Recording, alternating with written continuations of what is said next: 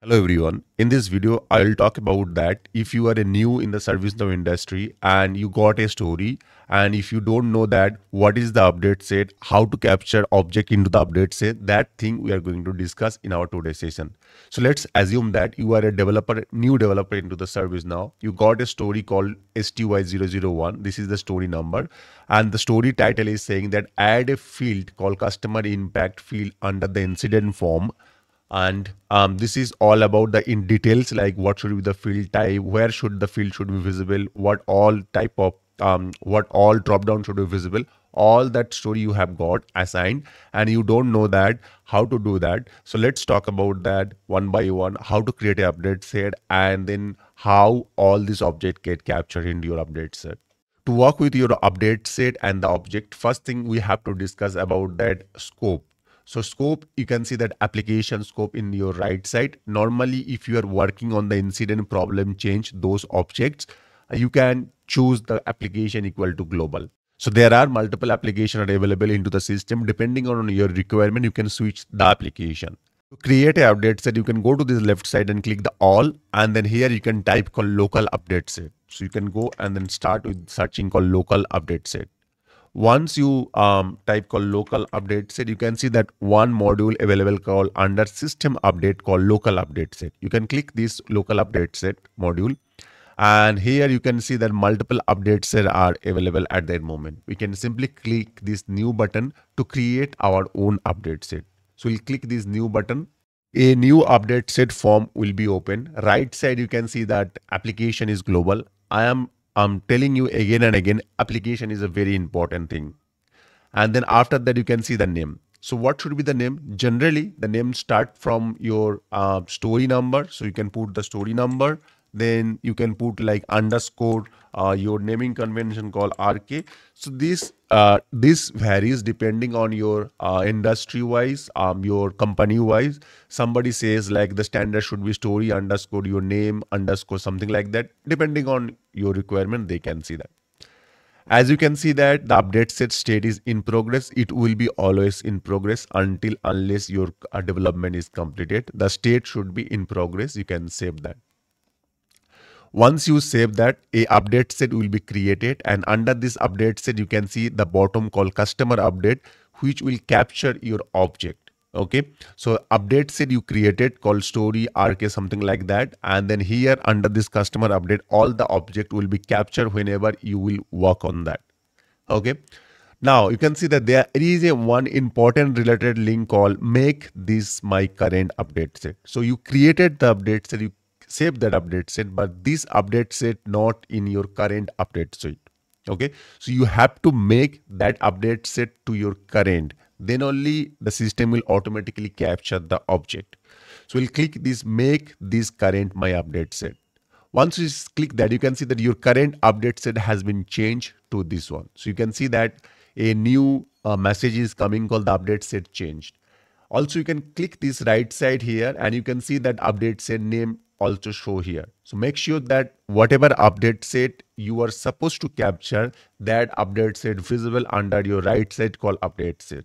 So that's it. So your correct update set is um, uh, created. Now, let's go back to our requirement. Our requirement says that we need to create a field called customer impact field and uh, that should be under incident form. So we'll go here and then we'll create a new field called customer impact field under incident form. So we'll go to our incident table. So we'll search called incident here and then we'll open our incident table. So let's see uh, if we can open the incident table. So we can see that we have a um, assigned to me uh, this module. We can open that and then we can open any of this incident record first. So let's say that I'll picking uh, one of the random incident called demo incident and there I'm going to add a field called uh, customer impact that field. So let's assume that that field has to be present under the after priority. I need to add that field. So what I'll do, I'll right click, configure, form layout. This is depending on your requirement. So I am telling you that how you can add the field. So if your requirement are different on the story, you can do the different thing. But I am going to do that. That I'm just going to work on based on the requirement. So let's say that I'm selecting a field call um, or I'm selecting a name called customer impact and then type as you can see that the type is saying that description called choice. But let's say that I do I forget actually to change the type to choice. I actually created the type equal to string and I can just simply click add. Let I'm, I'm just giving you that example what will be happen so we just added that field. We'll add the field uh, um, after uh, maybe um, priority. We'll add the field after priority. Okay? And let's save that so let's see that what happens if we create the field. So field created if you click the close button the field will be visible under incident form. So it's a quick small development. As you can see that our field created called customer impact as a string field, but as our requirement was called drop down, but we by mistakenly created as a string field called customer impact. Now, if you go to this update set module again called story sty001 underscore rk, there is a module, as I said, that related link called customer updates. If you click here, you will be able to see that multiple things capture okay? So one of the cap things captured called dictionary another called field label and then third called form layout okay? Three things capture or three things automatically created whenever we created these uh, fields. So what does it mean by that so whenever we created a field it create three object one called dictionary entry like what should be the dictionary one called label what should be the field label we said that customer impact that is the label and then uh, the third is the form layout. Whenever you changes anything under this incident form, that also capture called customer impact. So three object created. Okay. Now let's assume that if I update this field type from uh, string to choice, is it going to create a new entry here? Let's try to see that. So if you go here, go to this dictionary. So this is your uh, dictionary of that um, customer impact. Uh, this dictionary is the place where we can update the label, we can update the type. So let's say that I'm going to change this type from uh, string to choice. Okay. So if we update or if we change this field type, is it going to create a new entry here? Let's see that. So we just go and then save that. So as you can see that the type got changes from string to choice. And if I go back to this customer update and if we refresh that, you surprisingly see that there is no changes, there is no entry created. Okay. Because if you update the same object again and again, there will be no new creation of this customer update. There will be a single creation for that object. Okay. So if we do like created and updated together, so let's say that I will add that updated field again. Okay. So there will be, you will be able to see that new changes. Okay. So the point I'm trying to make that the Previously, the field of the dictionary of this record was string, but we changed to the choice. Still, this has not been any changes. Why? Because if you see this, creation time is 624, but updation time is 626. So whenever you uh, make any changes, so this record will be automatically update, but it will not create another entry. It does not mean like whenever or every time if we update something in this dictionary there will be a new record created no so every time if you update something on that a particular object which already captured in your update set it will just update that object. You can see it's just update that but it was created five minutes back but as we updated this label it's just update that entry. So every time if you create a or if you update modify that it will just hold a updated um, you know record here. Okay now what is the update set you probably know that update set is basically help you to move the data from one instance to the another instance so let's assume that this is our ServiceNow developer instance. And in this developer instance, they have asked for this requirement, uh, like this is the requirement. We have completed this requirement. Now, does this needs to be performed same things whenever we will move that data to the test or production instance? No. You don't need to perform same action to the test or production instance. You can simply move these objects or you can simply move these records and our system will automatically do whatever things you needed. So you created a long code, maybe thousand line of code. You don't need to copy and paste that code again into that other environment. You can simply move this update set to the other environment and system will automatically um, capture that and move that. I'll show you that upcoming. So as you know that we have created a um, field called customer impact. Now let's say that I want to, uh, this is a choice, right? If I go back to this uh, incident form right now, uh, how it looks like that. If I go back to the incident form, as this was uh, not a uh, string anymore. This is a choice. We need to add some choice field. You can see that these are the choice, right? High, medium, low. You can see these are the choice. Similarly, if you want to add the choice, how can we do add the choice? You can right click and then you can click the configure choice and then you can add the choice. Okay. So let's assume that first choice called major. So we added the major choice and click the save. Okay. So we added a choice entry called major. So what will be happen? Uh, you can see the drop down. It is a value called major. You can see that is visible. Now, if I go back here, click refresh there, you can see that a new entry created called choice list.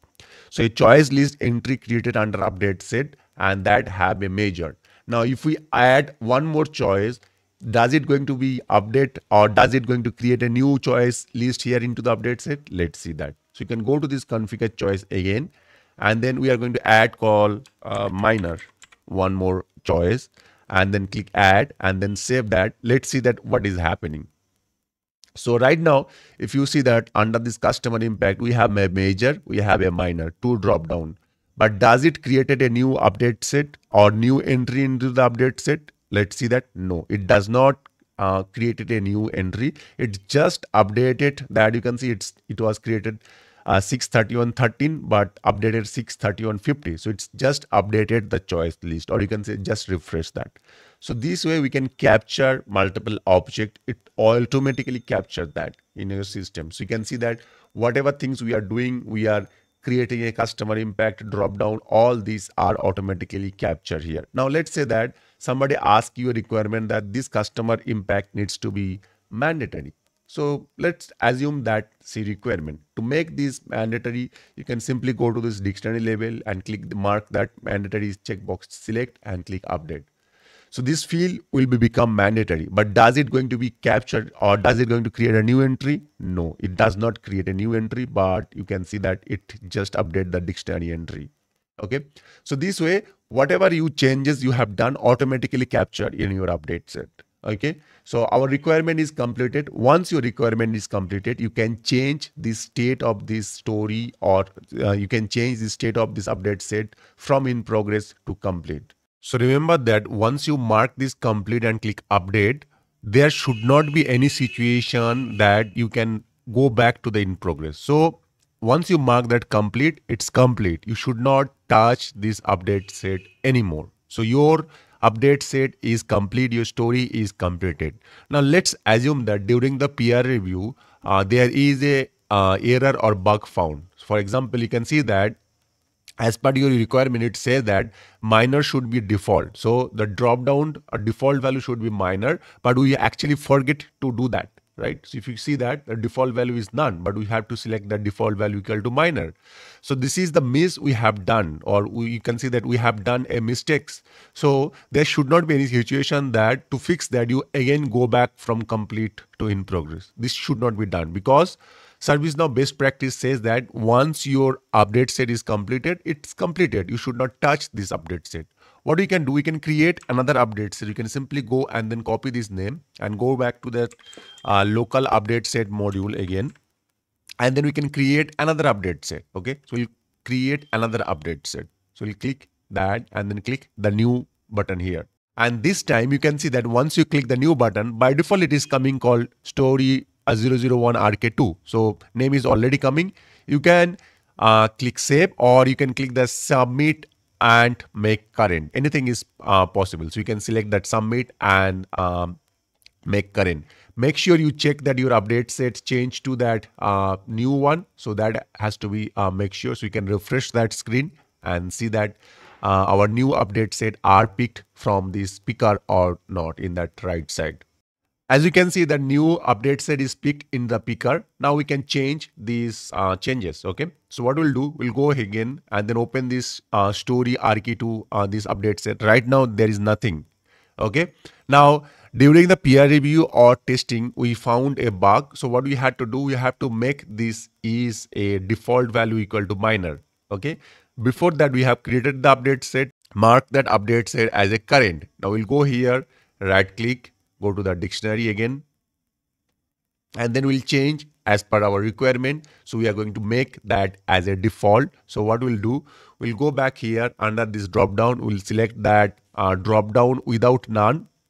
And then under this default value, we'll put uh, minor here.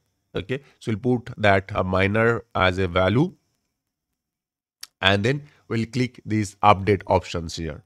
So what will be happen? This drop down will be set uh, that incident value drop down will be default is minor. So let's go back to the incident form. So as you can see that the default value set as a minor after my refreshing of the screen. Now if I go back here under this update set and you can see that there is another entry created. So what is happened? Under this version 1 there are four entry created. One of the entry was called dictionary and then second update set we have created that also have a dictionary okay? So we have right now two uh, two updates set for this story. What we can do that we can mark that story uh, or we can mark this uh, update set as complete. Right now we have two update set and if somebody or any developer has to move that what they have to move that they have to first move this update set then this update set. If they change the order there will be some issue for these things, we can resolve by another uh, thing. What we can do that, as you know that we have two update set. One is called uh, this update set and this update set. And then sequence for these update sets are this should be moved first into the another update, uh, another environment, and this should be moved after that to avoid this sequence issue, like if this somebody move this one first, there could be a problem. To avoid this sequence issue, what we can do that we can create another update set. We'll go and then create another update set. Uh, and we can simply create another update set here. And this time instead of uh, 3, we can put like name called parent. Anything is fine, but we can put like parent and simply save that okay? Once you create a parent update set you can add these two child update set in between there. So in the parent update set you can add these two child update set to avoid this sequencing issue. Okay? So what we can do that we can go to this child update set click the edit button and then we can simply add these update sets. So you can go here and then simply search for this update set move there and then save that. So what will be happen? Right now for this story right now we have three uh, three updates set. One is called story rk parent. That have two child updates set called rk and rk2 what you can do you can simply move this update set to the next environment and once you move to the next environment system will automatically take care uh, based on this um, update uh, um, time and then you don't need to follow the order or sequence the system will automatically um, create this field called customer impact and then the default value will be set to the minor depending on uh, whenever whenever you will move this update set to the next environment. So that's it for today's video. If you have any question, let me in my comment section. Thank you very much. Have a great day.